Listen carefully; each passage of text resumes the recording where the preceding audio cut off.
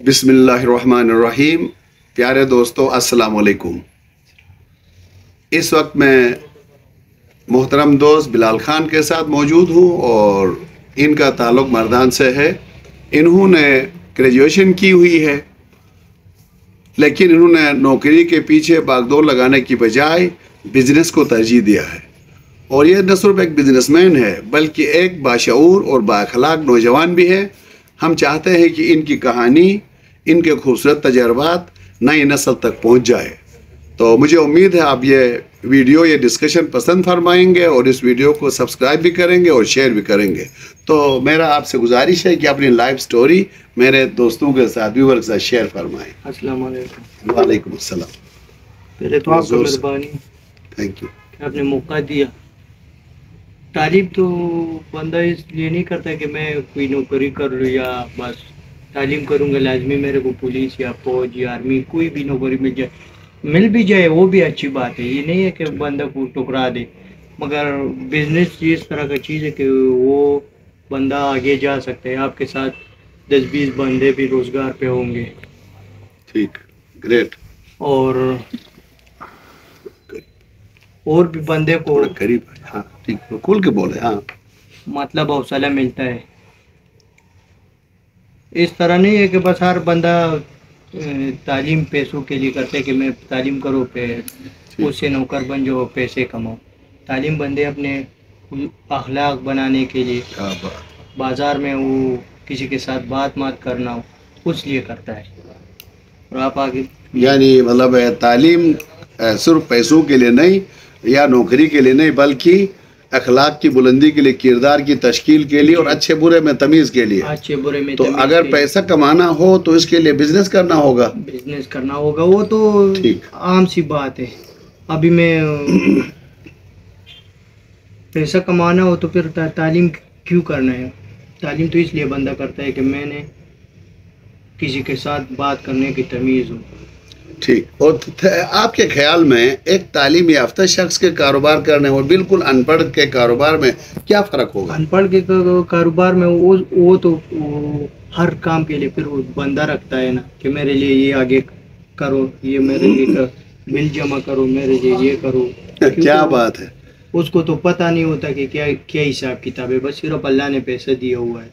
बहुत खूबसूरत बात की है कि यानी जो अनपढ़ होगा उसकी मिसाल नाबीना टाइप की होगी वो लिखने के लिए भी किसी को बुलाएगा बिल बनाने के लिए भी बुलाएगा और कम्युनिकेशन में भी प्रॉब्लम्स होंगे अखलाक में भी कमज़ोरी होगी। और मुमकिन है आगे वो दीगर चीज़ों में हराम का मरतकब भी हो। ग्रेट तो आपका अभी तक जो लाइफ एक्सपीरियंस है आपने बीए तक पढ़ा भी है वो लाइफ अच्छी थी या अभी बिज़नेस में हो? ये आपको सीखने का अमल कहाँ ज़्यादा बेहतर है? स्कूल के टाइम में। मतलब उससे उसमें मैंने अखलाक सीखे और अभी कारोबार आगे देखते हैं कि क्या क्या होता है। तो आपका स्कूल में पसंदीदा टीचर को याद है कौन था? स्कूल में पसंदीदा टीचर बहुत थे। हर क्लास में आगे आगे फिर मुख्तलिफ़ मुख्तलिफ़ टीचर चेंज हो जाते तो आपके कोई एक टीचर जिसकी याद है अभी तक हो आप समझते हो कि इसकी वजह से मैं आगे बढ़ा ग्रेजुएशन तक चल सका और उसकी दो खूबियाँ बताए। हक नाम था। अच्छा। उसने बताया था कि तालीम इसलिए नहीं कर रहे कि आप कोई नौकर बने। क्या बात है? क्योंकि तालीम तो बंदा अपने उसूल चलने के लिए करता है ना। क्या बात है? और उसकी बस यही दो तीन बातें थी कि नमाज़ पढ़ लिया करो आराम नहीं खाया करो। रिश्वत मिश्वत नहीं ये क्या बात इससे मतलब आप आगे नहीं जा सकते ये हमारी तालीम तो रिश्वत के लिए है। नौकरी रिश्वत के बगैर कहाँ चल सकती है? नौकरी लेने के लिए भी रिश्वत देते हैं। हाँ। तो फिर नौकरी के बाद तो रिश्वत लेना ही है। उसके बगैर तो फिर गुजारा नहीं चलता इस मुल्क में। आप क्या कहते हैं इस हवाले से? अभी बस वो मुल्क जब मुल्क बुनियाद रिश्वत पे रखा हो तो उसमें हम फिर कुछ भी नहीं कर सकते ना ये मैं गया हूँ पुलिस में भी रेस्क्यू में भी। बारह बारह लाख का ऑफ़र दिया था कि बारह लाख दे दो एक स्केल का एक स्केल का एक लाख रुपया। वो अभी चार चार पाँच साल पहले फिर मैंने सोच लिया कि इधर कुछ भी नहीं तो बारह लाख पे रिश्वत देकर नौकरी करने से बेहतर है बिज़नेस करो। अब देखो इतना अच्छा आपने बिज़नेस सेट किया है। और आप कई लोगों को रोज़गार भी दे रहे हैं। तो अच्छा तालीम में पिटाई होनी चाहिए या नहीं? सख्ती पिटाई हो या ना हो?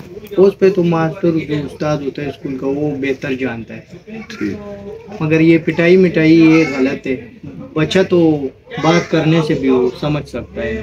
क्या बात है। तो आप बहसीत बच्चा मोहब्बत से चीज़ें अच्छा सीखते थे या मारने से सख्ती से? नहीं मैं वैसे जो मतलब सही साफ़ सुथरा बात कहते कि ना करो इस तरह। तो फिर हम समझते थे वाल तो मतलब जो मारता था ना वो तो उस टाइम का दर्द था, निकल जाता, फिर हम दूसरे दिन कोई काम फिर करते थे तो अगर अभी इंशाल्लाह बाप बनोगे तो अपने बच्चों की तरबियत कैसे करोगे? थोड़ा सा बता दे। एक, दो, तीन, चार। अपनी वाइफ के साथ किस तरह पेश आओगे? बच्चों के साथ कैसे पेश आओगे? एक तो होते हैं ना जाहिल लोग मतलब वो जो जिसने तालीम नहीं की वो अपनी बीवी को इस तरह रखती है जिस तरह उसने गुलाम पाया हो हर हुक्म उस पर करती है। उसके साथ वो तालीम की भी बेहतरी है कि आप उसके साथ दोस्तों की तरह पेश आओ। क्या बात मतलब वो हाँ वो उस पर हुक्म नहीं चलाने उसको अर्ज़ करने के ये काम कर दो। क्या बात है वंडरफुल वंडरफुल तो इस बिज़नेस में आपको क्या मुश्किल पेश आई? कोई मुश्किल पेश आई या हाँ, ये? बहुत मैं मतलब मैंने मिस्त्री के साथ भी काम किया है। मंडी में भी सब्ज़ी मंडी में उसमें भी काम किया है। और बहुत काम सर ये कभी काम किया है। ये पार्किंग का नहीं होता ये इसमें भी काम किया है। बहुत साथ साथ काम किया है। अभी अल्लाह लाख लाख शुक्र है। तो ये जो अभी नए जो जवान यूथ कारोबार की तरफ़ आना चाह रहे हैं उनको कारोबार करना चाहते हैं उनके क्या क्या उनकी खसूसियात होनी चाहिए? अभी तो सारे जवान ये टिकटॉक के पीछे मैं खुद भी मतलब टिकटॉक कहता हूँ ये नहीं है कि नहीं। मगर ये तो सारे कहते हैं कि मैं रातों रात अमीर हो जाऊँ ये वैसा क्या बात। यानी कारोबार में शॉर्टकट रातों रात अमीर होने वाली सोच गलत है। गलत है। इससे अगर दौलत आ भी जाती है तो नुकसान ही होता है। नुकसान ही होता है। अभी लोग आपको ऑनलाइन ये गेमें करते हैं कितने मतलब नुकसान कोई एक एक करोड़ कोई सत सत्तर लाख इस तरह के नुकसान में पड़े कर्ज है उस पे। कि हमारे गाँव में दोस्त है उस सत्तर लाख कर्जा चढ़ा है उसने अपनी ज़मीन माँ बाप का ज़मीन बेच दिया उसके पीछे। शॉर्टकट के उस पे हाँ, ना वो कहता था कि मैं बिटकॉइन ले लूँगा। ये ऑनलाइन गेम होते हैं ना बिटकॉइन ले लूँगा वो बिटकॉइन नीचे आ गया। सब उसको नुकसान हुआ। हाँ नुकसान तो thank you very much better आप सिर्फ़ आखिर में वालदेन और इस के लिए कोई एक दो पैगाम देना चाहता हो अपने बच्चों के साथ। ये चीज़ करें, ये ना करें। बस वालिदैन के लिए तो ये है कि उस्ताद को भी इस तरह समझ समझ लेना है।